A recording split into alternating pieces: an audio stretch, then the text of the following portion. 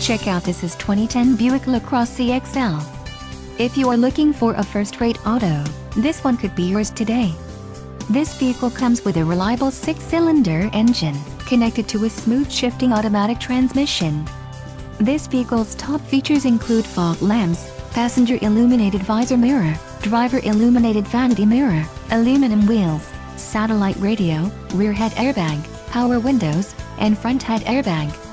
Let us put you in the driver's seat today. Call or click to contact our dealership.